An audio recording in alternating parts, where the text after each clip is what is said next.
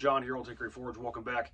If it's your first time here, welcome. So, what's going on today? Uh, I'm down here in the workshop, finally starting to get moving on everything I need for Blade Show this year. Blade Show is in Atlanta, June 4th through 6th.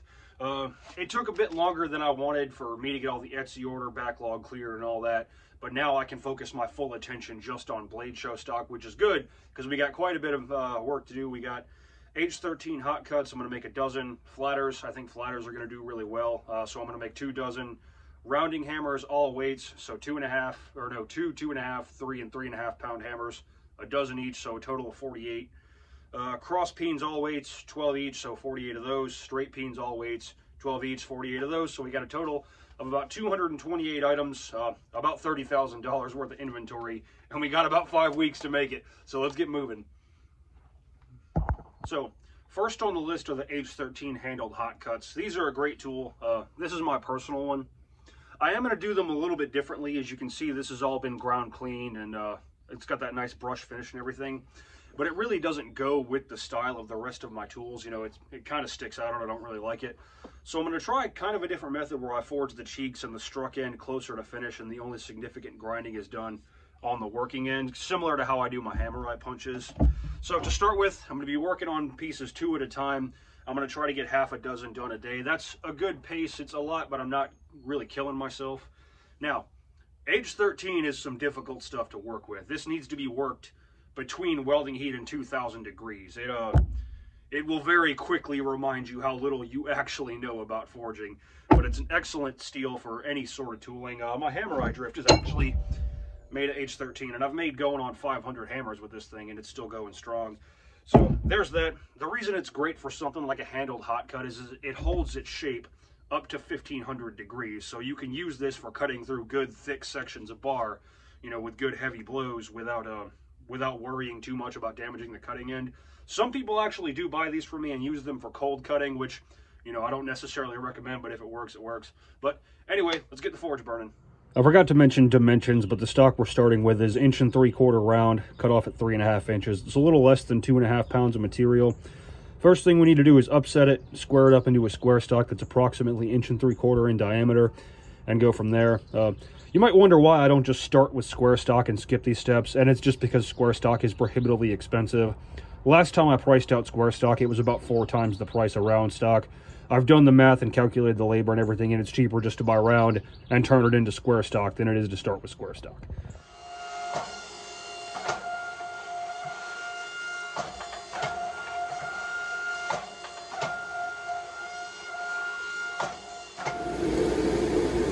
Alrighty, first step's done. We got our billets squared up. They're about inch and uh, three quarters square, but about three inches long. So next thing we gotta do is punch the eye. Alrighty, I got my punching and stripping die set up. I'm gonna mark the center at the anvil with a hammer eye punch off camera, just so I've got a point of reference. Uh, I really can't overstate how careful you need to be with this material because as H13 cools, it contracts pretty aggressively. And if it gets stuck on that, uh, that punch, I have actually broken that punch three or four times, you know, trying to rush with H13. So I got some charcoal powder there. Hopefully that'll help, you know. Slow is smooth, smooth is fast.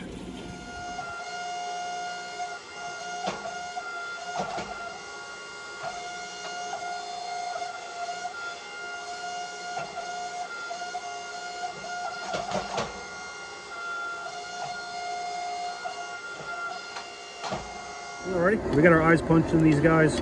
On a hammer this size, I would do it in one heat, but uh, with H13 being such a difficult material, I did these in about four. So we're good to go. This one here is a little bit out of center, but that's really not a big deal. There's about an eighth of an inch of tolerance you can work with because the billets are cut oversized. And after you isolate the working ends, if you draw the cutting end out of whichever one has less material, there's still a good bit more there than you need. So that's not a big deal. But the next step is to go ahead and isolate and set down the working ends. So we're gonna go back to the press using the flat dies and an inch and a half kiss block and draw the ends out to inch and a half square.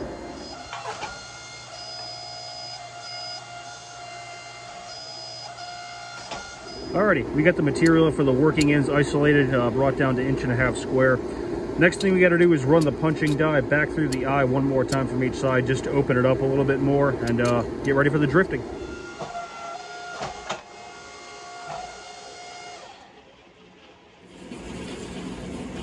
So next step is forging out the cheeks. I want cheeks that are about two and a half inches tall.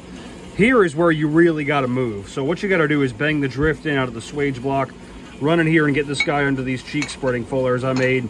Uh, the reason you really got to move is because the drift acts as a heat sink and pulls the heat out of the billet.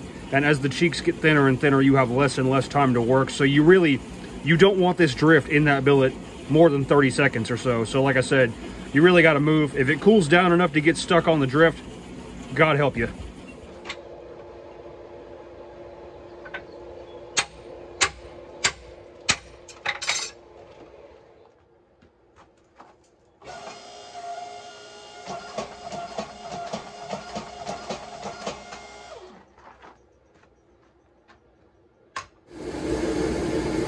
Alrighty, we got these babies cheeked out. They're looking pretty good. Uh, just like before, on a hammer this size, I could do this in like four heats or so. These took about eight just because uh, I really don't want to risk getting the drift stuck and this and that. But next step is to put the drift back in, go back to the flat dies and planish out all these fuller marks towards the struck end to finish, and then we'll start drawing out the cutting end. You know, that'll do it really. So just wanted to take a second and show you guys this thing I made really quick. It's just a piece of three inch square tubing. I made a little grate for the bottom sits in the slack tub just like that. And, you know, now I can drop my drift in there to keep it cool without it falling in the bottom of the slack tub and having to find it. So it's a simple little thing that's really, really useful. You might want to make one if you make a lot of hammers.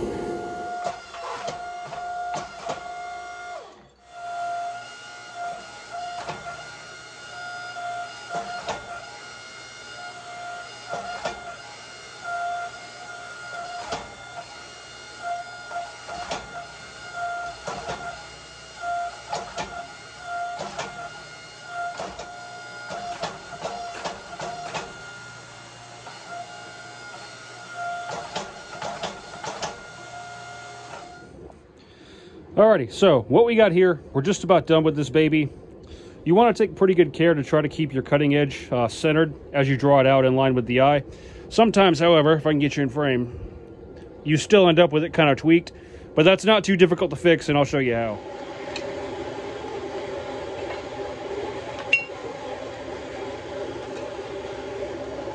So, to fix our out of whack cutting edge, all you gotta do, lift that baby up in the vise, get the drift in there,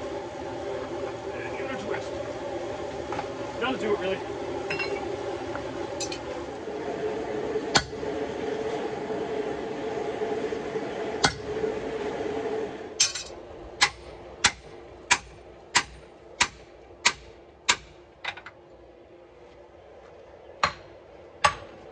So that's pretty much all the forging on these guys. That last step you just saw me do was driving the drift in one good time from each side to create an hourglass shaped die. I like my top tools without a wedge, but uh, I like to put the hourglass shaped die in in case whoever buys them does want to put a wedge in them. So that's two down, uh, quite a few more to go.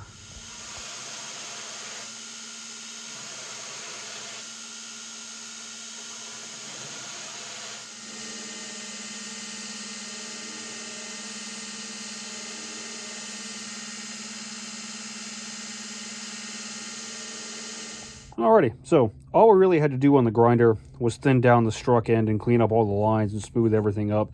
Next step is to go in with the die grinder and just break these corners. Uh, if you have hard edges on the top or bottom of your eye, they can bite into the handle and, you know, create a weak spot for it to break at. But that's about all there is to it. I went ahead and took these up to about 120 grit because what we're going to do is when they're good and hot, we'll bring them in here, throw them in the vise, and then take the cut brush to them and just the abrasiveness of the brush will get all those marks from the sander out and leave us this nice kind of brushed satin finish. It'll look really good when it's done, you'll see.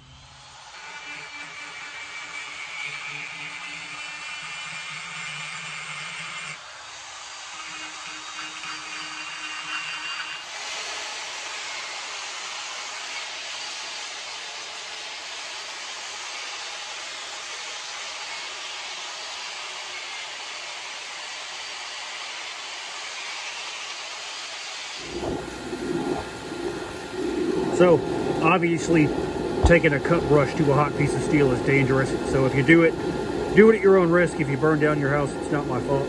But you can already kind of see we got that nice soft consistent satin over everything we ground over. So uh, I got the other three in the fire. We'll do that one more time, hit the uh, struck end as well as all the top and bottom and all that with the uh, cut brush as well. And uh, we'll be ready to heat treat these guys. Alrighty, got these babies nice and ready for heat treat. H13 is an air hardening steel, so the heat treat's pretty simple. But what I found through trial and error, mostly error, is that if you just heat the whole piece up and then let it cool on its own, uh, the cheeks and the struck end hold so much heat that they cause the whole piece to cool down relatively slowly. And uh, to harden steel, you cool it as fast as possible. That's more or less scientifically how it works. So usually what I'll do is I'll let these guys get nice and cool to the touch after the thermal cycling and the wire wheeling. And then we'll take a nice cherry red heat just on the working end. And uh, this end being comparatively cold will suck the heat out of that quick enough to get us a good, like hard, strong edge. So that's really all there is to it. It looks a lot hotter on camera than it actually is. It's uh, It looks like a dull red in person, but on camera it looks a lot hotter. So uh, we'll just set that guy off to the side to cool, and that's that.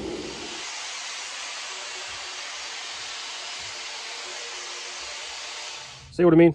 We got that nice kind of brushed satin finish over the whole thing. So we'll get the edges cut on these babies and uh, get them hafted up.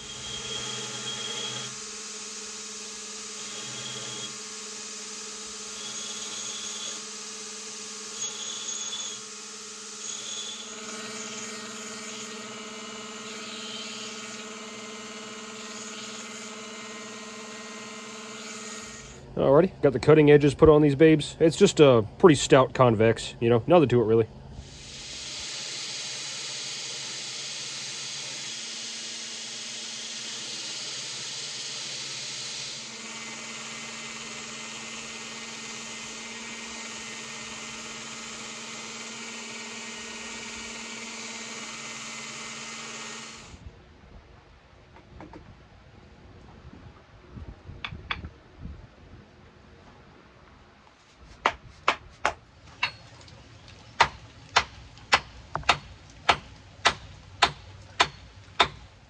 Alrighty, got our heads installed. We'll trim the hafts off at 12 inches.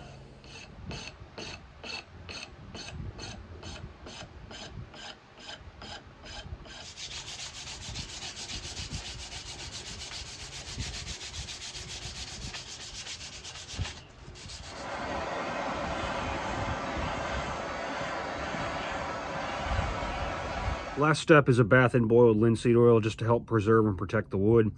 I'll let the handle soak for a couple hours and then turn them over, let the other half soak for a couple hours. Should be good to go. So what I got here, just a scrap railroad spike. Show you how it works. It's a good habit to remove the tool from the cut after each strike to keep the cutting edge nice and cool. Not to it really.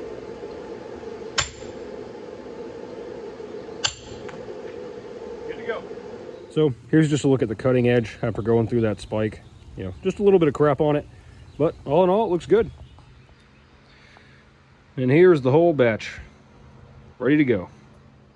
So there we have it. Uh, really happy with the way these guys came out. I really like the new design. They look good, they work good, and I got a dozen of them. So if you're going to be in Atlanta June 4th through 6th, you know, feel free to come check us out at Blade Show. It's going to be a pretty good time. But that's all I got for you. If you like what you saw, like, share, subscribe, all that jazz. Always more cool stuff coming. I got a whole lot more stuff to make, so I'm not going to sit here and talk your ear off. Uh, y'all take care.